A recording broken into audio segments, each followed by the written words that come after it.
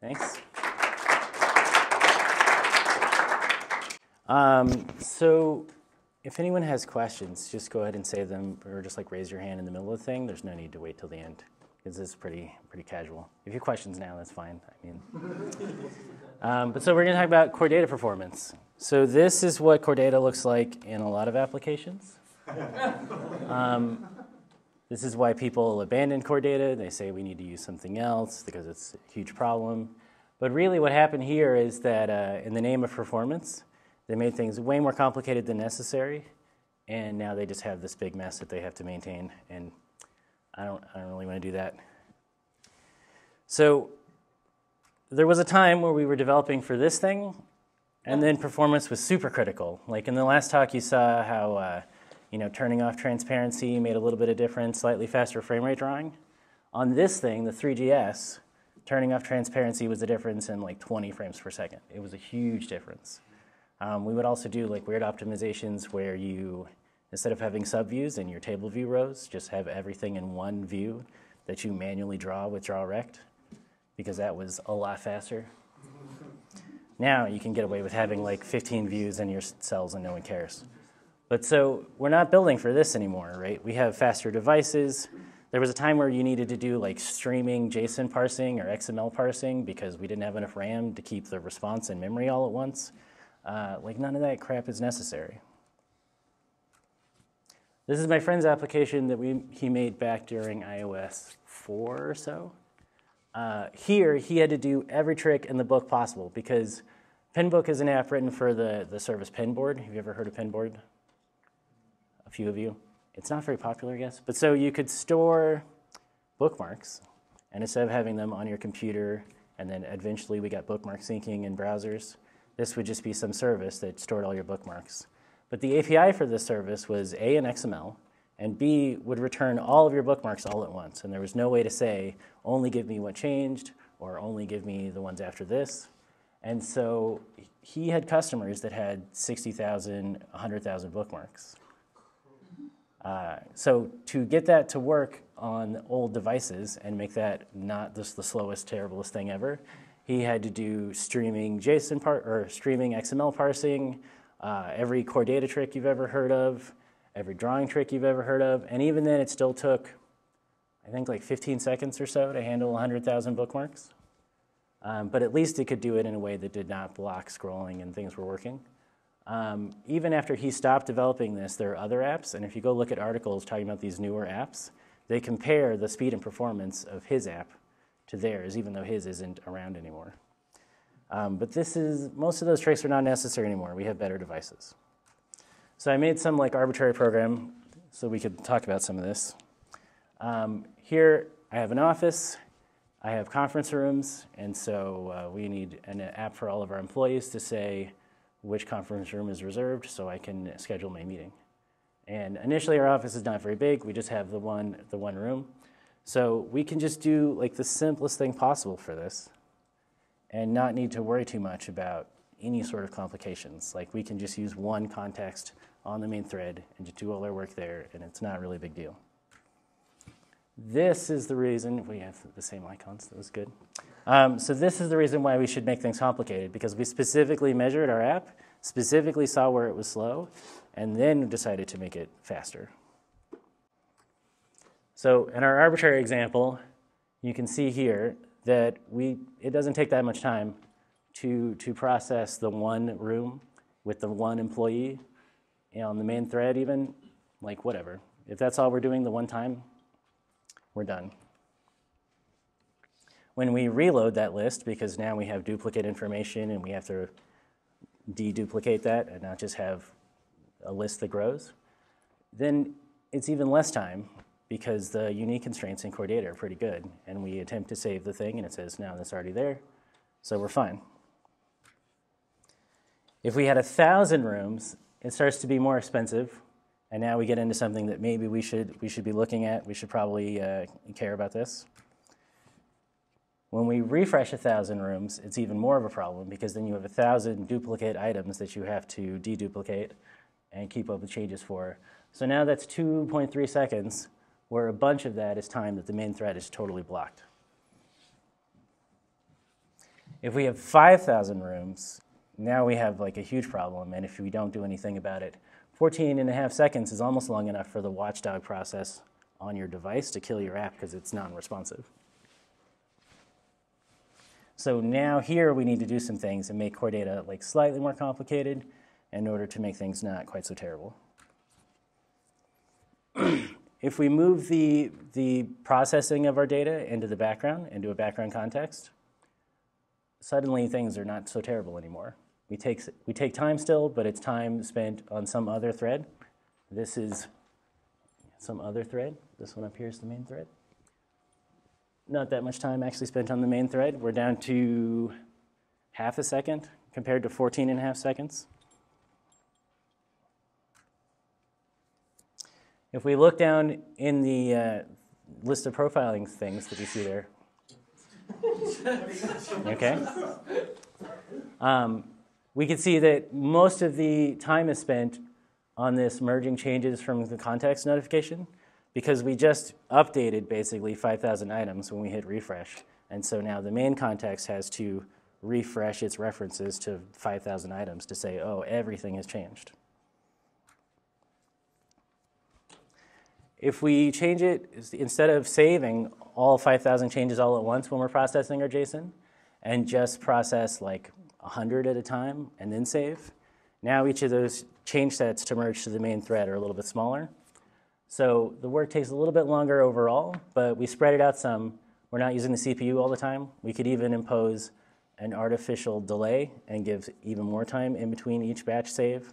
So the process would take a while, but at least now the phone is totally responsive while this is happening. I tried this to make it faster, and it didn't actually work. This is why you want to measure things and not just guess. I figured since we know that when we're downloading this list again, we're getting the same items again. So let's just delete everything that's there and then get the new items. And maybe that's faster because then you don't have to deal with the uniquing. Um, so on the left is what we had before. On the right is what happens when you say, let's delete everything and then do it. We spend, even though the processing is technically happening in the background, now we have to process the change of all the items were removed and then all the items were added back. So my background processing still spends like almost half of its time on the main thread just reconciling those changes back to that main thread context. So this was actually a, a terrible idea. More realistically, what you would do if you're at a company where you're developing the thing and you know the API people, how many of you like directly control the API that you're working with? Like you personally could go and make changes to it, right? How many of you are at least like not enemies with the people that do maintain it? So you could ask them nicely to make some changes to it? Yeah, so like in this situation, Downloading 5,000 things when we already have those 5,000 things is redundant and silly, right? If all of that information is exactly the same, we're wasting data and we're wasting all this CPU effort. So here's what happens if we, if we go back to the API and say, what if you only give us the 100 rooms that changed since the last time we requested this, instead of all 5,000 rooms every time? And now we're back down to using 25 milliseconds on the main thread, so we can go worry about something else now. Like technically that makes you skip, what, one frame we saw from before? So there's a ton of information about this stuff.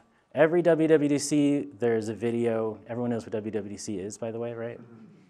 So Apple's Worldwide Developer Conference, it's basically impossible to go anymore. Um, but every year they put up the videos. Every year they talk about the things that have changed in core data because there's a bunch of things that did not exist back during iOS 3, iOS 4, iOS 5 that do exist now to make a lot of these things a lot easier to do. Um, so every year there's a talk about what they've changed. Often there's a talk about specific performance things that you can do to make it better. Um, Instruments specifically has a user guide, which is up to date, because one of the problems with Instruments is even if you did figure it out, I don't know, a year or two ago, the UI changes every release a little bit and things move around and you have to find where things are. This guide is kept up to date pretty closely, so you're probably going to find what you're looking for there. And it is fairly extensive. It's not like some documentation where there's this much information about the thing. Like this is a, a multi-page guide that's almost as long as the human interface guidelines. Um, and when these slides are on the, the thing, you'll be able to actually see the links that these are pointing to.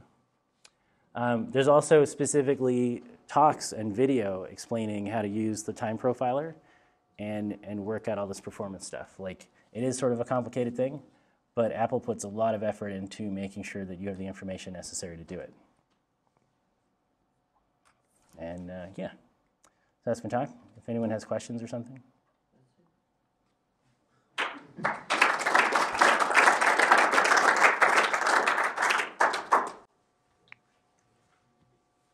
Cool. I guess we can all uh, go back to beer. Oh, sorry. Do you know any performance measurements uh, versus Realm? Uh, I have not specifically done them because most of my work. Realm is like super mega simple. Yeah, well, so Realm has similar issues, right? Where like uh, objects from your your Realm context thing cannot be used across threads, and, and so you need to you know worry about multi-threading and stuff. Yeah, but that is circumvented easily because you, uh, you can create uh, another value type or value type object and convert from them only when you're reading them and you're storing them. Sure. I mean, you could do that with Core Data as well, right? You don't necessarily have to use manage objects all over your code. You could easily convert them into a struct and just use the struct in places. Unless you need to make changes to the object, then that would be totally fine. Would you recommend not to use any third-party library On top of Core Data? uh, or instead? Oh, instead of Core Data? Um, if it's my own project, I would probably use Core Data before I used anything else, unless I had some like very specific reason not to. Um, Core Data has been around for a long time, has had a lot of engineers, a lot of very smart engineers working on it, and a lot of work done to it. Realm has been around for a couple years. Whatever new library you just heard about has been out for like six months. Um, there's a lot more time and effort put into making sure this works compared to any of any other solution. So, I mean, there are some cases where maybe they do something especially nice and you want to use that for a specific reason, but for most apps, I would use this. Can you give any specific advice on uh, like synchronizing core data with CloudKit, like all those bulk operations and uh, on which threads to put them and uh, how to deal with it just in general? Yeah, so like with multi-threading in general, the simplest implementation is probably the best one, right? The more complicated you make it, the worse it gets. Um, like I would just try to have just your main thread where you're doing your UI stuff, right? And maybe one other background queue or background thread or something that you're trying to do work on. Like unless you specifically have performance problems and you need to do something more elaborate, like just the simplest possible implementation so that when you're looking at it, you can tell what's going on. So basically, if, for synchronization with CloudKit, is Mm. it, is it uh, recommended to use uh, those child contexts on different threads or how to deal with Yeah, well, so so now we have that persistent container or whatever, and then you can just say, I have some stuff I want to do in the background, and it will take care of making a context that's appropriate for that and doing the things on that context. Um, so it's yeah, it's even simpler to just do arbitrary stuff in the background. But even then, like, unless you need to, if if your CloudKit is syncing one object back and forth or something, or minimal amounts of changes, then like, does it need to be done in the background at all? Yeah. So um, you're working a lot with multi-threading, right? It's, you shove tasks to cores that are busy, that are not busy, right? Right, right. What is your experience with um, multi-thread? Uh, what's it called? Thread safety. Thread safety. Thread safety. Yeah. So with core data context, the objects that you get out of a context, these NS managed objects, should not pass thread boundaries, right? Yeah. Um, the ones that you get from your main context should be used on your main thread. The ones you get from somewhere else should only be used somewhere else. You can pass the object ID across threads. So you could say, uh, my main thread, I selected a bunch of things on a list and I want to do some batch operation on these 10 items. Excuse me. So you could say, uh, do this work on these 10 object IDs. And then in the background, you could look it up, make the changes, and then those changes will come back. Okay, makes sense. Yeah. Can you shed some light on uh, what is the most performant core data setup? Uh, well, the most performant core data setup heavily depends on exactly what you're doing. Um, just like, because core data is technically not a database, and you get in trouble if you think of it like a database, but with, with data storage in general, it matters how you intend to use it, and that should decide things like how you store it. Because it could be that your performance issue is just that you are fetching a single item 10,000 times and you need to fetch one one time and fetch the 10,000 items all at once. And that's the performance difference. It could be that you maybe need another an, an additional context because you need to do background work. It could be that you need to do some prefetching before then you do some operations. It could mean that you need to use some of these batch operations. So, uh, like a classic problem from before, there's this article that uh, Brent Simmons wrote where he chose not to use core data for his RSS reader application because you have this operation of there's 10,000 articles and you want to mark all of them as read. And before, you would have to fetch each individual thing and change the property on each one and then save all those changes back. Like now, we have a batch update operation where you could just say, all articles make this property true, done. Um, like, uh, yeah, I would just start with the simplest possible implementation. Just do everything on one context, and then when you see that that's not working, find out exactly why it's not working, and that's what needs to be improved. There's no one solution that's going to work for everybody. Yeah. Are there, um, do you use any third-party uh, coordinator wrappers, uh, or do you have convenience methods yourself uh, to simplify things? Um, some projects I make some convenience methods. Sometimes it's, it's handy. Sometimes it seems like more work than necessary. Like you're not actually saving that much. Um, like I've worked on projects that use some wrappers on top of core data that were supposed to make things more convenient, but in, in a lot of cases that just made it harder to figure out what was happening so that you could fix it when there was a performance issue or like simplify it when it needed to be simplified. Um, like core data itself is already an abstraction over a number of things, right? There's SQLite and there's an object cache and there's all this stuff about object relationships. Like that's already abstractions on top of things. So more abstractions on top of that, probably not necessary. Would you always recommend moving the managed object context to background queue? Uh, no, like if, if you're doing minimal changes and you're, you're updating one object and changing like one property, then just do that on the main context. Like the simplest possible case is the best. You'll probably end up needing at least one other context because you're, you know, handling more than just one single property. But until it turns out that there's actually a performance problem, the simplest possible case is the best. You're, you're core data, is there something about core data you dislike Um. Yeah, well, so specifically in Swift, right? Like we've improved something so that like our, your fetch requests are generic. So, bef- like originally in Swift, you had to make a fetch request and then typecast it to an array of the results you expected because it had no idea of knowing what type you wanted. Where now we have generic fetch requests so that you can actually do that. So that's much better. But the thing that annoys me still is um, the properties that you store in core data in your managed object model are very Objective C based. So if you want to store a number, for example, it's, it's going to store it as an NS number and expects like an Int32 or an Int16 or something. Um, like it'd be nice if you could get a property that was just a Swift int instead of an NS number that you didn't have to do stuff with. Probably. I mean, they've already made these improvements so far to make things much nicer to do in Swift with core data. Um, there's probably a whole lot of debate about exactly how to do it or exactly what the API should be. There's also an issue with um, if you have required properties on your entity, then they're still generated as optional properties in, in the, the Swift file. But then I just go and edit the file and delete the uh, question mark. And then it works fine. Yeah. No more questions? Well, thank you, Simon. Yeah, thanks.